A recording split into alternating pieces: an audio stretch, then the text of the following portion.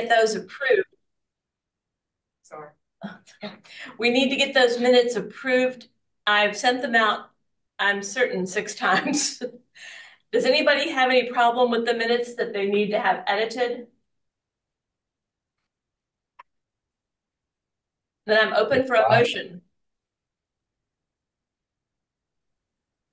Motion that the minutes from January and February be admitted.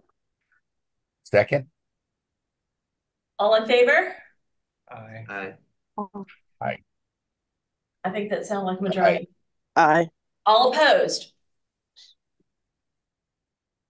Nobody, okay. Yeah, Alright. we finally got those minutes done. Yay! Um, sorry, I went through the introductions first. That's all right. Alex, Sorry. give us a report on July. All right, so um, for those of you who, um, no problem, um, who were, were able to attend our um, Americans with Disabilities Act anniversary event back in July, I think it was on the 24th, um, out at Park Circle in North Charleston. I know many of you all were there or at least knew about it, so I appreciate everyone who attended. And for those who were not there, um, we held an event to recognize the um, 34th anniversary of the ADA. Um, and just had an event where folks from the community could come out to network with other organizations who serve people with disabilities. Um, and we also had a guest speaker virtually, um, Miss Wheelchair America 2024, uh, Ms. Chandra Smith, who I've worked with in the past. Um, she's an IT um, compliance officer, 508 compliance officer for the depart for the Defense Intelligence Agency, and she was able to speak to us virtually and sharing her story of living with a disability. Um, we had about 10, eight to 10 organizations from the community there, um, and several community members. And uh, this was our first time putting on an event like that, so it was really good to to be able to um, showcase the organizations in our community and hoping that in the next next year and pre and future years that we'll have a bigger and better crowd and make it an even better event. Um, so that's sort of the overall highlight of the of that event. Um, we want to do something like that again next year, and we'll probably begin working on that in the next couple of months. So just wanted to, to give an update to everyone on that. This is Daisy. That was my birthday, so we can hold it on my birthday again. Okay, Yes, we'll make sure, we'll have a cake for you, Daisy, when next we'll year. have cake. I like cake. All right. And, and I'd like to thank Alex for all he put into organizing. He found the people to join us. He found the room. Alex did a lot of it. And Ron, of course, helped too. And then we had people like Michelle was there as a vendor. So was Amy, which was great. Um, the nice thing about it was people with disabilities frequently forget that we live in community. It's hard for us to gather sometimes because of restrictions and barriers, but it really is important. So we need to try and get it done again because it was good. And another thing, I don't know if you know about this, Alex, that came out of it is that I am working with Charleston County Parks now to put together a regional ADA coordinators confab, if you will. um, that should make it a little um, easier to make ADA accommodations across um, political lines or you know governmental lines. So thank you very much for doing that. Thank you. Alex also got stuck in the lift. I did. I was advocating in that respect as well. Um, I don't even know Yeah. if it's fixed yet, or do you, do you know? I don't know if it got fixed yet either. But yeah, um, that was part of the adventure. Advocacy in action. Absolutely. Alex, they had to crank the lift down with the with the whatever wrench thing they used to get him back out of the lift again. I have to say that wasn't my first time having been uh, being stuck in a lift like that. So Yeah. I actually leave the office now earlier than usual because our office elevator got stuck between floors, and I thought, what I don't want is firemen to come in here with axes. They'll mess up my elevator. That's right. If people just leave me alone, I can figure this out. So that's the, the July celebration event. The next thing is the report from the ADA coordinator. I think the first portion of that should be Ron. Ron Um, should, or, yeah. go First for it. off, I'd like to say that I need to correct something. Okay, I did virtually nothing to help Alex. I mean, he didn't, he did everything himself. Uh, all I did was introduce people, and that was it. So Alex did it all. And he did an outstanding job. he did. Okay, you want to talk to us about the meeting schedule, Ron? Okay, so we have this terrible problem. If we continue to meet on the last Friday of the month, because November and December we can't have any meetings. And then if we have some, like, I'm not picking on anybody, and I probably shouldn't say this since I was late today, but we had people that um didn't show up on their Zoom meetings and we didn't have quorums and we went a considerable period of time without meeting. And because we're a government entity, we can't meet unless we have a quorum. That's just the rule. Um, and if we break that rule, um, I don't know, the sun doesn't come up or something tomorrow. So I looked at a calendar for next year. And if we meet the second Monday of the month, we don't have any holidays in our way. That's exciting. So unless unless the calendar I was looking at didn't have government holidays on it right, but I looked at a couple of different calendars that had holidays on it. That would be amazing for me. Good. So what I'm proposing is because we have to publish a list also um, of our scheduled meetings for the year, those have to get published. Um, that we go ahead and we publish a list with the second Monday of every month for our meeting days and meet at the same time, four o'clock. Oh, we can't do it at, we have to be before three on a Monday. Has to be before three on a Monday. Right. That doesn't affect me much because I'm retired, but how about everybody else? When you say before three, does that mean like two o'clock? I, I'm a school teacher. I get off at two forty-five, three o'clock most time. Think That's, I yeah. The only way, it the only way I might be able to put that, it, it, it may be able to be a Zoom, but rarely. be here in person if it's Monday before three. Okay, And this is Daisy. I Okay. do have, a- I- I'm not sure how long I'll have to have these chemo infusions. And so four o'clock is really the fa the earliest I can get back for meetings. Yeah. And that's unfortunately why I've been missing so many. Cause we had three thirty for a while and I was pushing it out of breath, like probably breaking a law too, making it from work to get down there from school. Yeah, All right, but that's, Janet, you said there was another day. You said Monday or Friday, right? Yeah, it's Friday that we could do all day long. But All day long. Michael has said he can't be, I couldn't be here, like, just if it's that early, like, because I need a ride. okay, My wife works, so like, it's too. Let me pull up a calendar real quick because I so any day of the week, doesn't Yeah. matter. Okay, think So, yeah. I did not know I did not know about the three o'clock restriction. So, um,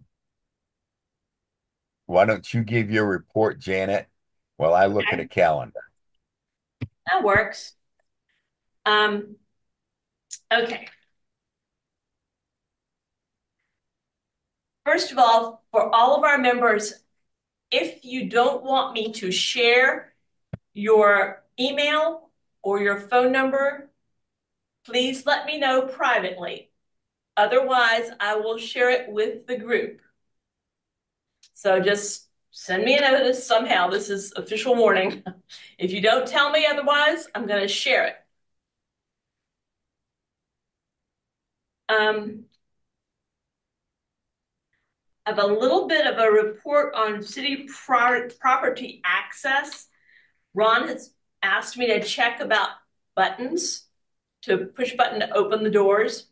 And I've got the, the process underway. There are about four more buildings I have to look at.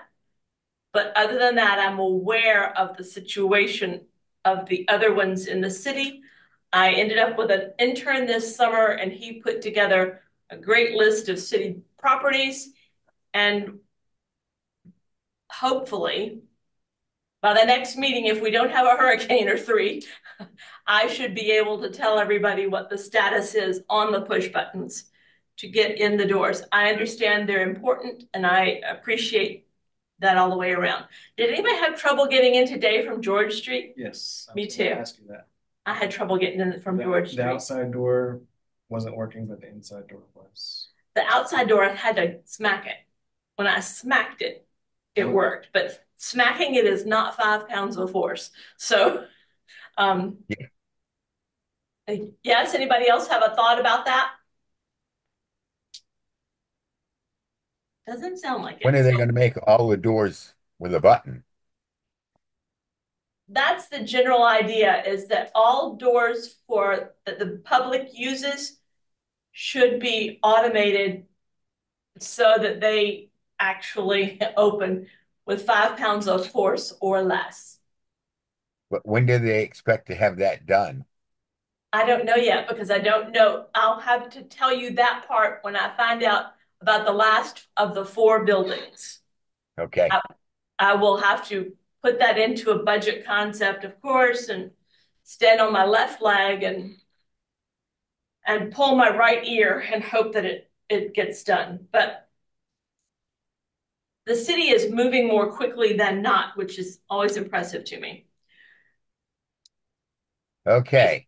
Yes, As far as the calendar days go, the third Friday of 2025 does not have any holidays.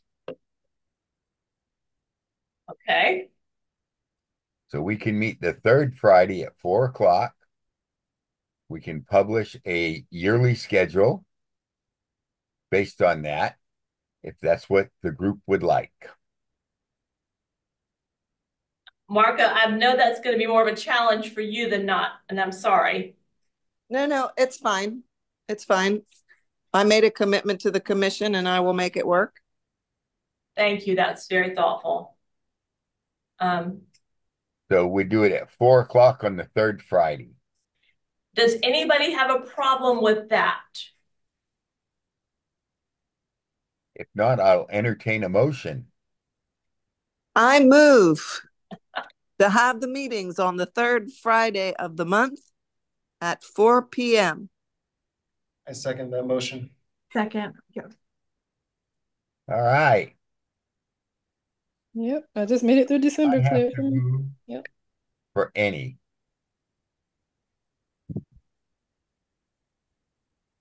Wonderful. All right.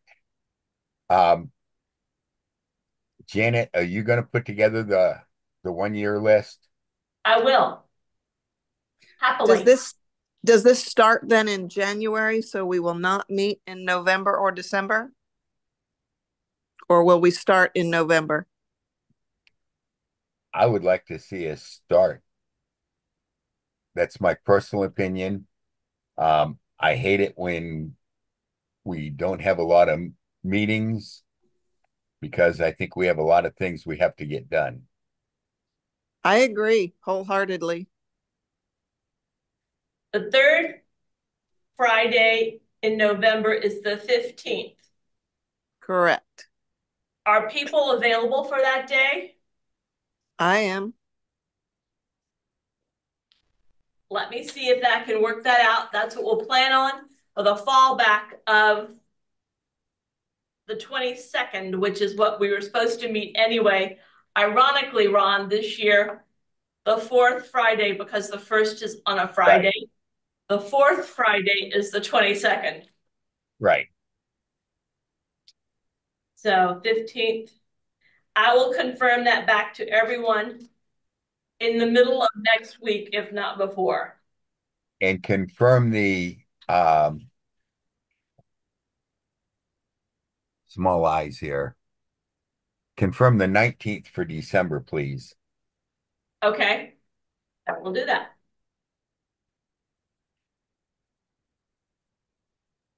All right. The nineteenth is a Thursday. Of December? Yeah. Oh, did I give you a Thursday? So the twentieth, OJ had bad eyes. the twentieth is that Friday. Yep, twentieth. Thank you, Alex. You're welcome. What else do we have on the agenda that's good? Um, I have nothing good. I have I have two more um brief ADA report things to share. One, if if I may, Ron, may I? Yes. Okay. Um, if any of the commission members has a complaint about an area in Charleston, I'm happy to entertain the complaints. It would be most helpful if you will include an address, an actual street address. Um, that way I can know exactly what I'm looking at. It saves a whole bunch of time. Does anybody have any problem with that concept? I'm assuming not. All the Zoom people are mute. Okay. I'm Um, good with it. good, thank you. Um, And then, did have a question. about that. sorry. I had a question about that. Okay, what's the question?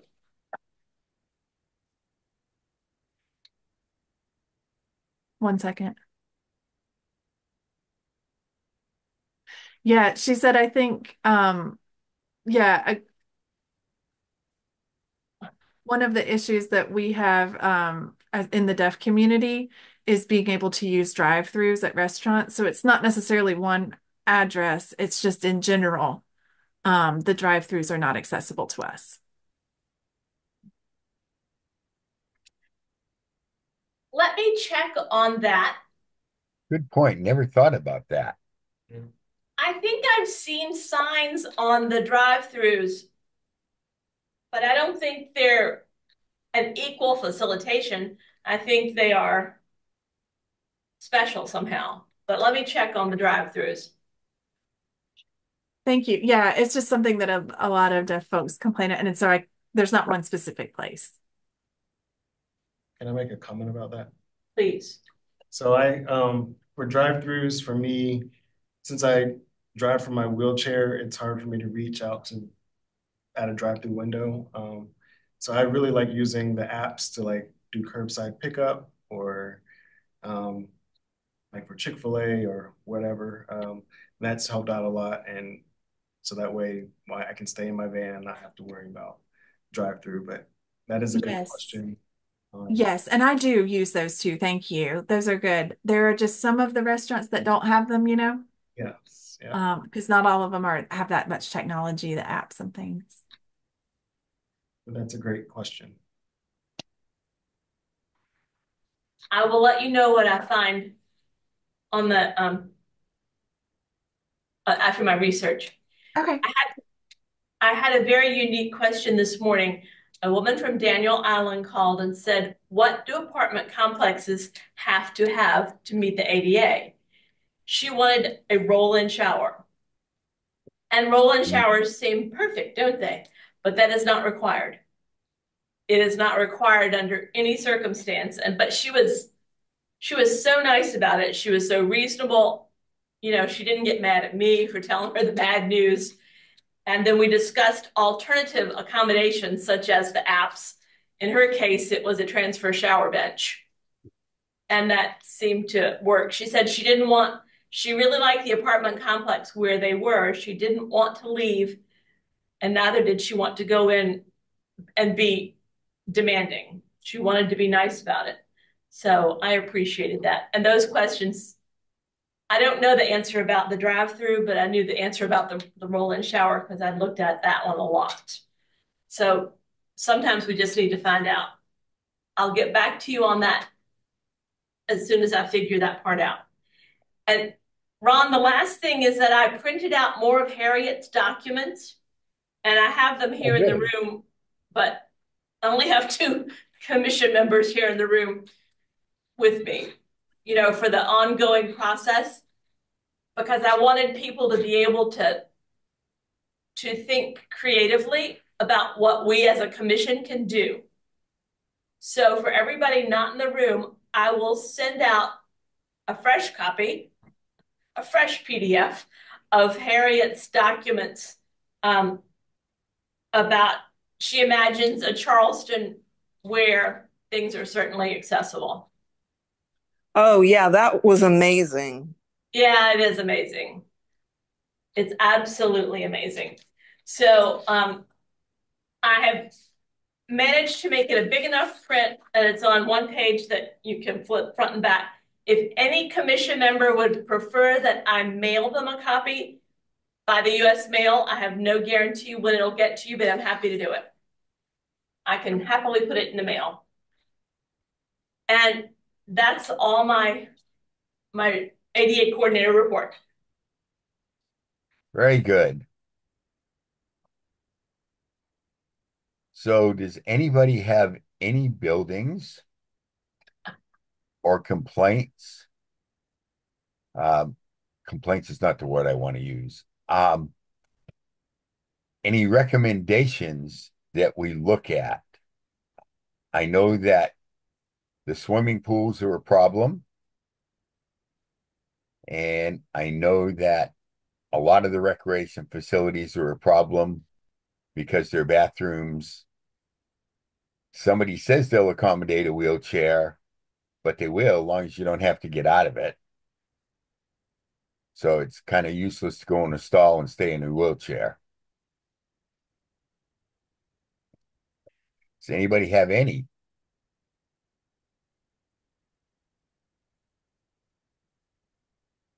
Quiet grew. I had a question actually about like if it's a city regulation. Um, so I went to a uh, bar in the east side this past weekend um, on Hanover Street, Okay. uh, called Lucky Luchador. Oh, what? Lucky Luchador. Okay. And there was a, it's on a, a city or, you know, city residential block. And there was a, um, uh, handicap space directly across the street.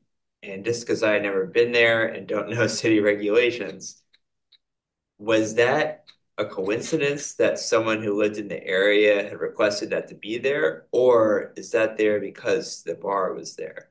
Is it some sort of regulation? I was just Was it more an curious. on-street parking, like Yeah. parallel parking? Yeah, It was there because somebody requested it. okay. And if it were empty, you could use it.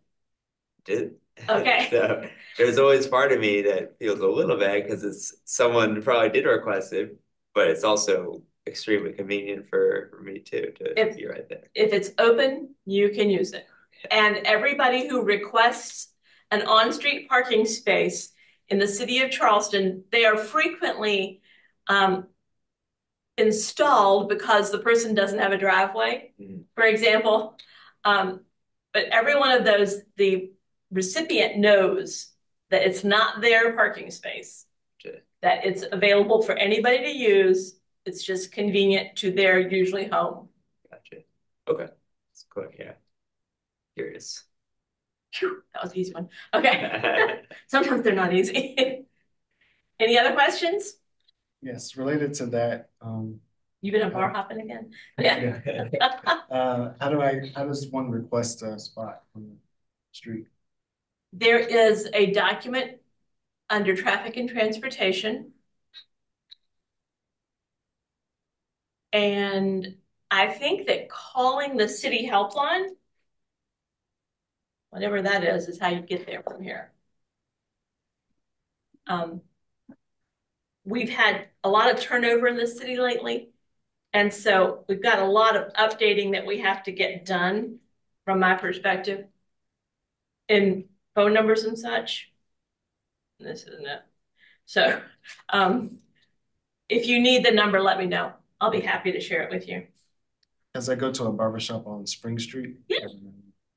they were looking into that a while back when Spring went from one way to two ways. Yeah. And, um, and so, um, I have to, I want, I think the barber still wants to get an accessible spot over that way somewhere. That, Yeah, yeah, You know him? of course I know that. Yes. Everybody knows that, even if you didn't go to the Citadel and have your hair cut. So. Yeah. Um, I'll, let me put a note down to send you that document. All right. Thank you.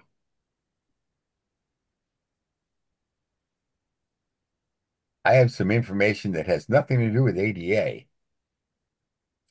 Is I it learned the other interesting? day, and I did not know this, that if you um, live in the city of Charleston, you're over 65 or handicapped, you have a homestead exemption. In other words, you own a, your own home and you got a homestead exemption, and you use Charleston Water, CWS, you can have them remove your stormwater fees. Huh, I about didn't know that. What? That's What? new. That's awesome. I just learned it. Because now I'm going through a battle with them. I'm 100% disabled. So I have no homestead exemption. So she's saying, Well, I don't know if you can have it because you don't have a homestead exemption. And I said, Lady, I'm exempt. But anyway, um, you call CPW, Hmm. tell them you want to talk to the stormwater exemption person. Her name's Mrs. Glover. And she will ask you your address, tell you that you have to have a homestead exemption, you have to own your own home, you have to be over 65, and then she will call the county, verify that information, and then take that off your bill. It's about eleven dollars and a half. Wow, that's good to know. Very Thank you good. for that. So those of us that live in duplexes or apartments wouldn't be able to take advantage of that. Probably not. Probably you're right.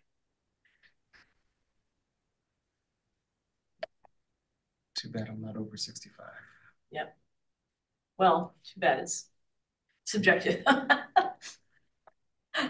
You will be. You'll get there. That's a good point too. That is. Yeah. Yes, you wait. Are there any announcements?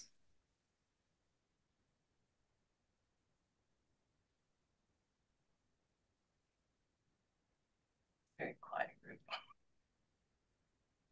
I, I guess I do have one announcement. Um, so this past Monday, there was a wheelchair accessible catamaran that was visiting the harbor. And um, for those of you who know Chris Murphy, he's part of a lot of the spinal cord injury um, sporting things.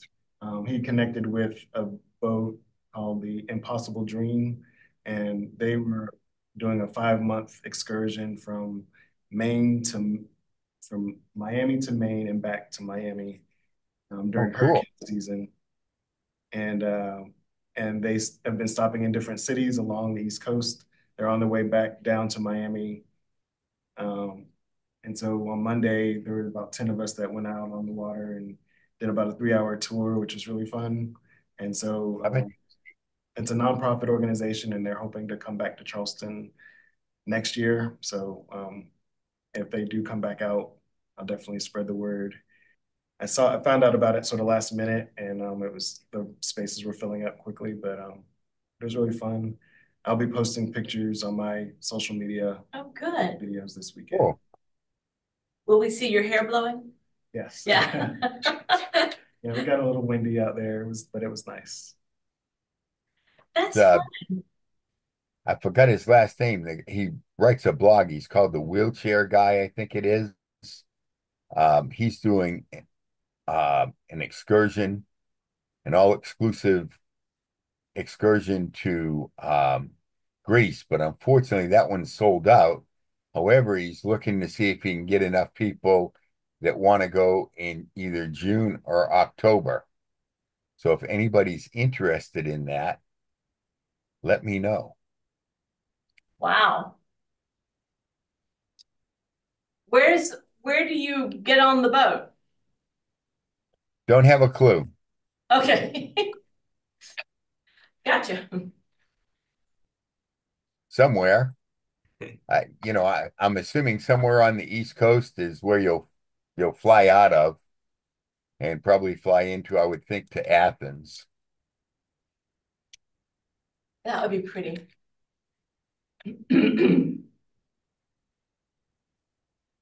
Are there any other um, items of business that we need to address? I don't have an item of business, but I can share an event that's coming up. What's that? It's not ADA specific, but it's um, a woman's march. Um, and they've asked me about ADA compliancy, but it is um, on the sec- the second of November in Park Circle, starting at two thirty. And I can send you this. I don't know if anybody's interested, but it's um, the tri it's Tri County Women's March and Freedom Fest, and um, it will, they will gather at the St. Thomas Episcopal Church. Um, and there'll be some candidate stump speeches.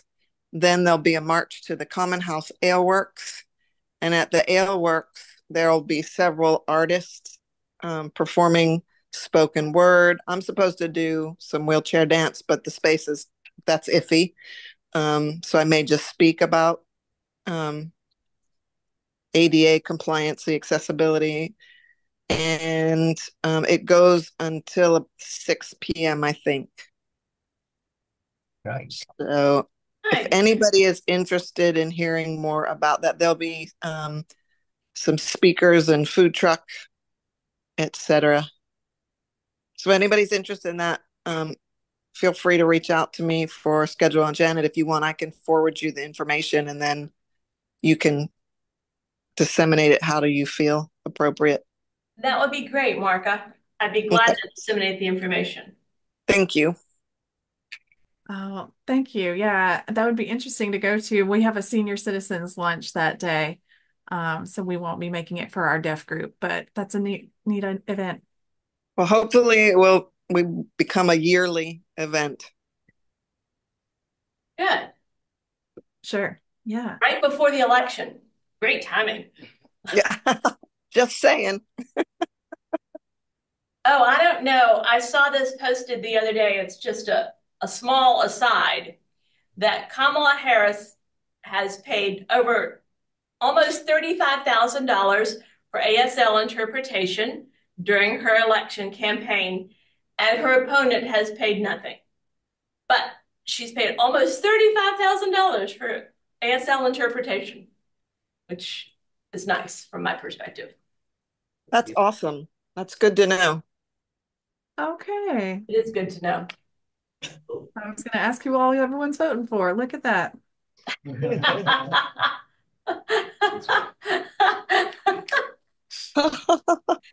That was just a factoid, not an advertisement. No, of course not. Of course not. There you go. Okay. Um, November 2nd is also the ALS walk. oh, Um, it takes place at uh, Mount Pleasant Waterfront Park underneath the bridge. It's not a very long walk.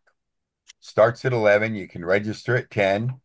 If you register and come, then register for Ron's ALS Slayers. That would be my team. And uh, we'll have a walk. I don't know if we're going to have any food. I don't know. The new person hasn't communicated any of that to me, so I don't know. well, technically they could, you could do the ALS walk at eleven and the Women's March Freedom Fest at two thirty. That's There exactly what I was gonna say, Janet. Thank Yeah. you. It's on the email I sent when my meeting almost done, I'll tell you. The calendar misaligned by day between this meeting and this event I went to last night. Uh, a concert at the refinery that was a benefit for uh this guy Tom. I guess he lives with uh, ALS. Yes. Yeah, and, uh, that was a great great time. Uh, I think it was mostly for him. I'm not sure if it if any of the funds raised went anywhere else, but uh, yeah, it's a great No, they all, they all went to ALS. Nice, great event. At the refinery, hmm Grateful Dead cover band.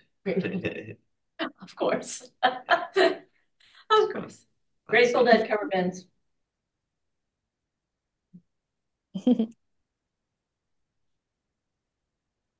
Yeah. If nobody else has anything, I'll entertain a motion. I'll second Maria.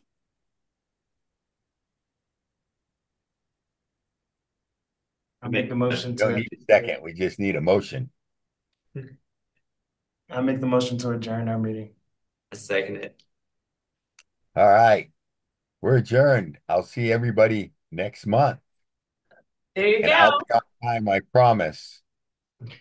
Thank you. And um, Janet, as, as soon as you can let us know about the meetings, that would be great, so I can let my boss know. Yep. That, that will be the first thing I do next week. Thank you so much, everybody. Thank you. Bye, y'all have a good weekend. You too. Bye. Bye.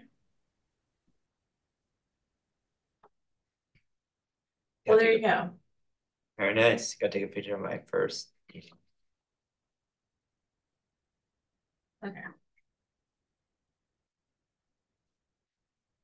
Thanks for great. joining us, Michael. Absolutely. Thanks for having me. Looking forward to